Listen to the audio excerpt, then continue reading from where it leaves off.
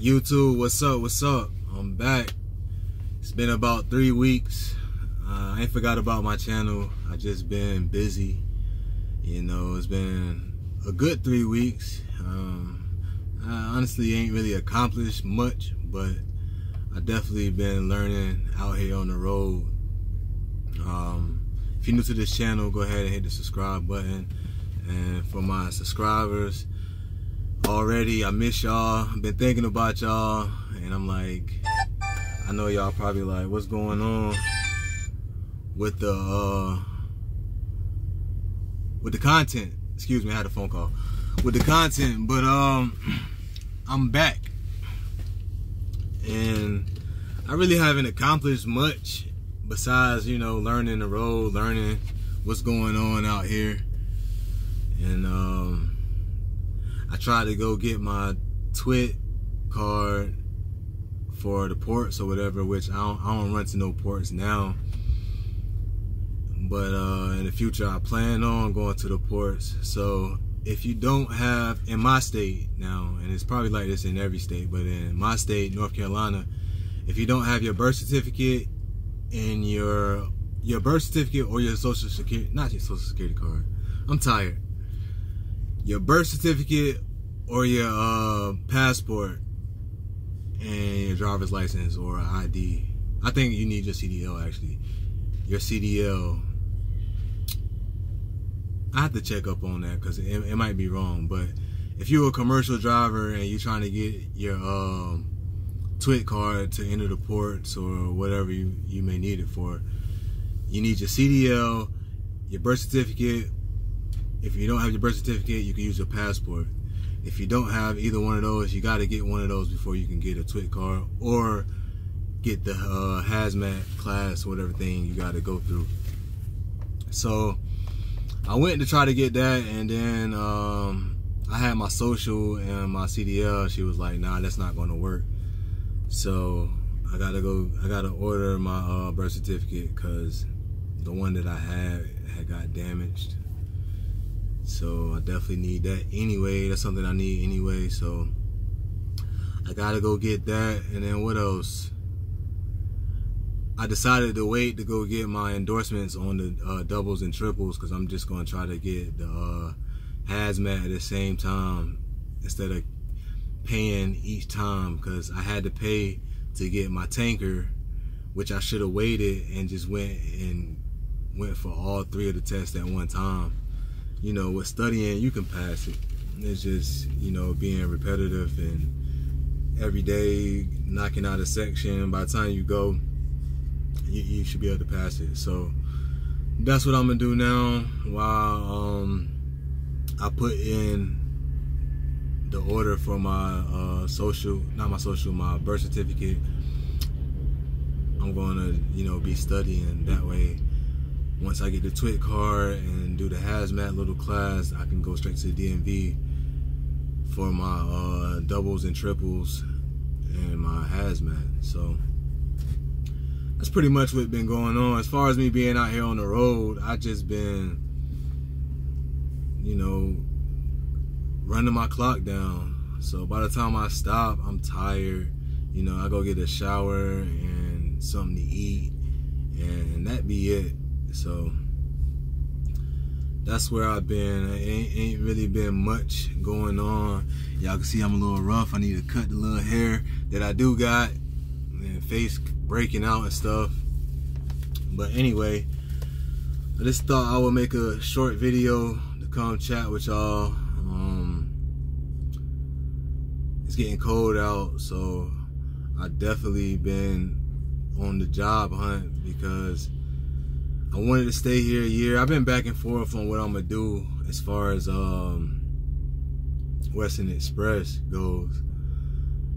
But the lane I run, I'm northeast, so you know it's gonna be some bad winter. It's gonna be a, it's gonna be the winter time, and you know running up New York and all that. It's it's snow.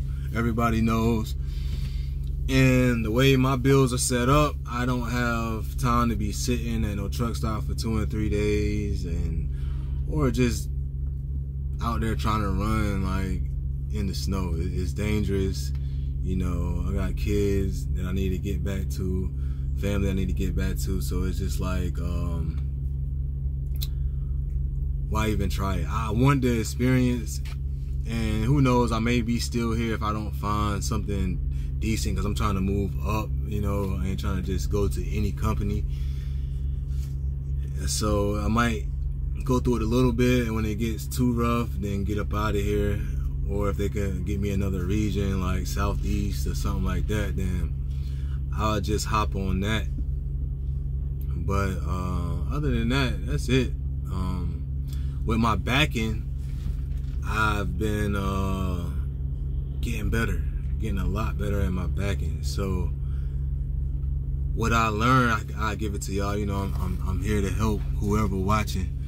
So what I learned is with something I I've been known, but I just really haven't applied it.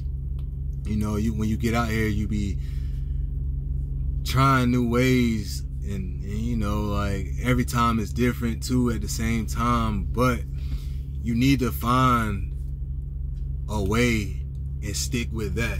Like definitely stick with um, every little piece that you learn. You know keep building it up, building it up, and just it should all come together. But when you're backing, when you're backing, uh, when when I'm backing, you always using your driver's side. You always backing from your the side that you can see on your driver's side, not your blind side, which is the passenger side.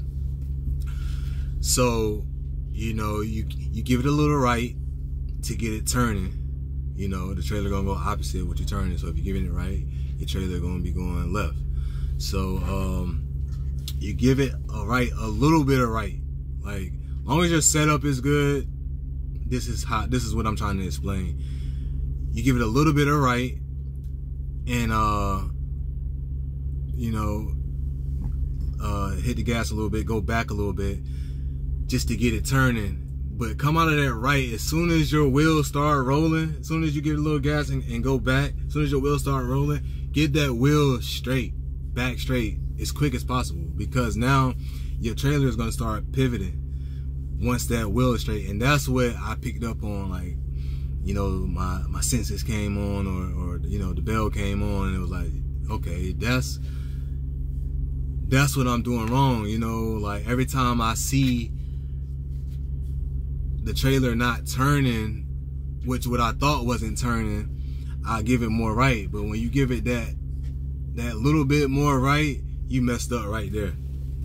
You messed up right there because now it's turning. It's gonna be turning too much to the other truck, the hole you're trying to get it in, and that's what I was struggling with. Like every time I see it going too straight, I would give it right versus giving it a little bit more time or giving it a little right and getting right out of right out of out of that right immediately, getting my wheel back straight because you will see it. You'll see what I'm talking about when you get that wheel back straight. That trailer gonna keep pivoting, and now I understand when they say follow it in, because you give it that right, get it back straight. You watch the trailer. You watching that trailer pivot the whole time, and as that trailer's pivoting then you getting under the trailer, you following it in. So now you you um what is it, right? Then you come out of it with the left. So now you got the wheel straight, watching it pivot. Now you you're giving it left as you're watching it, and left is bringing you back in front of your trailer. So if that was like, you know, a lot to explain. If I explained it too fast, then um just go back and watch the video. I need to watch time because I ain't been making no content. But um, just can you wrap your head around what I was just saying? And uh, just to go over it one more time because I know I'm talking fast because I got to get in here to take this shower. But um, give it a little right. Get out of it immediately.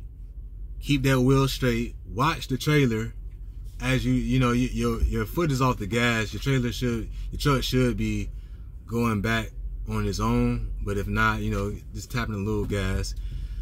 Watch that trailer pivot and then all left. Just keep giving it left the whole time. I actually hold the steering wheel. Once i see that it got a good it's turning good I hold the steering wheel a little bit left until I just need to get all the way back around in front of the trailer. But that's been working. It's definitely been working great. Like uh, I've been real satisfied with that. So like when it comes to docking or you know getting in these truck stops, it, you know I haven't had no worries because for one, you know you can always get out and look, but like now I can kind of judge it a lot better. So yeah, I definitely been happy with that. And what else? Nothing really. That's pretty much it. That's pretty much it, man. I hope everybody doing well. I hope if you're in school that um, you pass your test the first time and um, you know don't listen to it nobody say you know take your own journey and figure out what trucking company you need to go to because you don't know what is going that company is going to be for you and um, some advice for anybody who's trying to get their CDLs study study study. Before you even think about signing up or anything start studying first. That way you you'll be good to go. Like when it's time to take those tests you're passing. You're passing the first time. And another uh, piece of advice for the drivers who's out here take your time man. Like it ain't it ain't worth wrecking and it ain't when you're backing is that especially take your time. And you'll notice the more you take your time the easier your day will be. Like you know like i've really been having patience lately and not getting frustrated and my day's been going a lot better. So like the video subscribe to the channel. If you um already subscribed to the channel please please please hit the like button. It helps. And um i see you guys in the next one. Peace